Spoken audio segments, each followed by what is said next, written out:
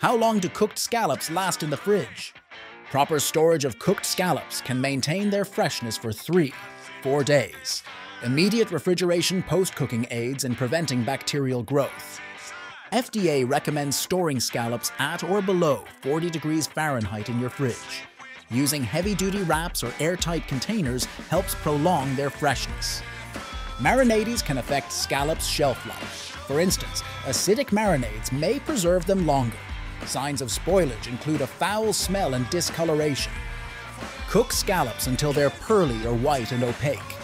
This ensures adherence to safety guidelines and indicates a minimum temperature of 145 degree F. Lastly, remember that quick refrigeration after cooking is crucial for safety and maintaining shelf life. Scallops should ideally cool to room temperature within two hours post-cooking.